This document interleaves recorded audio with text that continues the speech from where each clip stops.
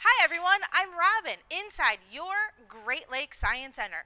For the health and safety of our guests, partners, and staff, we are closed. But as your Northeast Ohio STEM HQ, we are committed to providing you engaging science content and interactive experiences. Welcome to Curiosity Corner Live.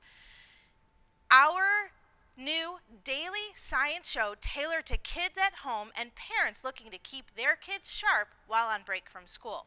Mark your calendars. Starting Monday, every day at 10:30 a.m., we're going to bring you live interactive science videos. You can look forward to design challenges, behind the scenes tours, at home experiences and so much more only at Curiosity Corner Live.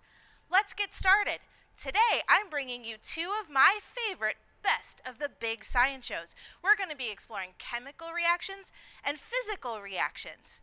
And it might just end with a little bit of an ex- it's definitely going to end with an explosion. Let's get started. So, follow me.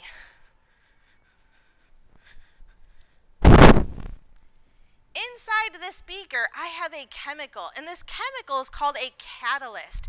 A catalyst is a chemical, when introduced into a solution, speeds up a chemical reaction. But if you look a little bit more closely, I have a giant flask, and in the bottom of the flask is another liquid. That liquid is a very strong solution of hydrogen peroxide. Hydrogen peroxide is two hydrogens and two oxygens, or H2O2. They're bonded together, but it's not the most stable. Those oxygens want to break apart and form oxygen or H2O, something you might know water. When I add this catalyst, because I added some soap, we're going to see a really fun, foamy chemical reaction. Are you ready?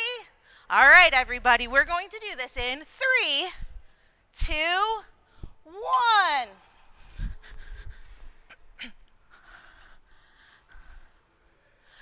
Wow, look at that. Now you might notice that in addition to all of these bubbles, it's steaming. This is an exothermic reaction. So when those chemicals reacted, it released heat. It's getting steamy in here. So this is an example of a chemical reaction. We've taken those chemical bonds, we've broken them, and they've rearranged themselves into other more stable chemicals. But what's a physical change? Well, in order to do that, we're going to get things a little bit cooler over here. So let me pack this up out of the way. And I'm going to bring out another chemical, something that you also might be familiar with. It's nitrogen. Now, if you're at home, everybody take a deep, deep breath in. fill your lungs. When you breathe in is a lot of different gases, and one of those gases is nitrogen gas. About 78% of the air that you breathe is made up of nitrogen. Nitrogen as a gas has a lot of energy. Those molecules are bouncing all over the place. But if we restrict the movement, they slow down, they get closer and closer together, and we get liquid nitrogen. Now, nitrogen is a liquid at roughly 320 degrees below zero Fahrenheit. So I have to add a lot of extra spe special safety equipment in order to keep me safe. Let me introduce you to the star of the show, liquid nitrogen.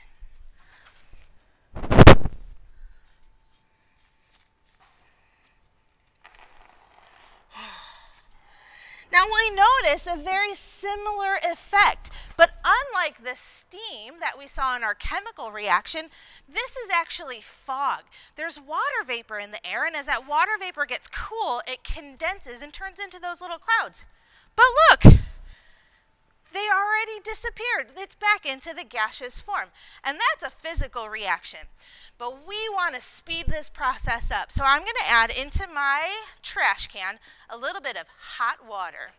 Remember, liquid nitrogen is really, really cold. And if we add it into a little bit of hot water, it takes that liquid, gives the molecules more energy, and they start to move around a lot faster. Now, Remember early on when I said that it's going to get a little bit explosive? This is where that starts. Because what I want to do is trap some of that liquid nitrogen inside a bottle. And as it goes from a liquid to a gas, it takes up way more space. Let's do this.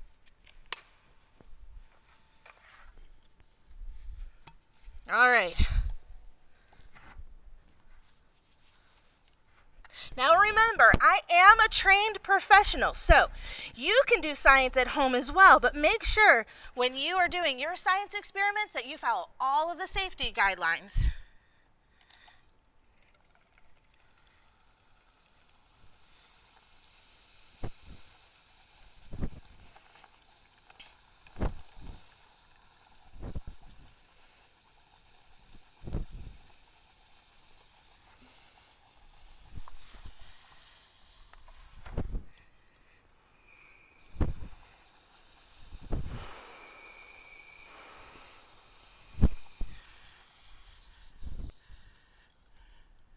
Yeah, I think that's enough.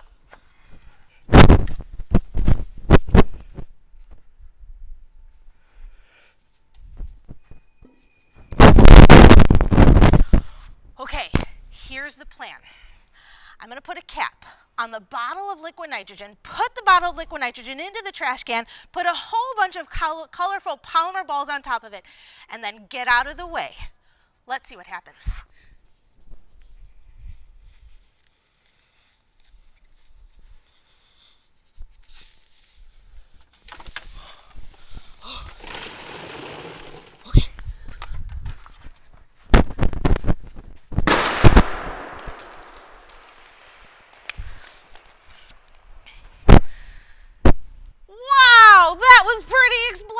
Now remember, as your STEM HQ, check in every day at 10:30 a.m. starting Monday for Curiosity Corner Live. And remember, stay curious.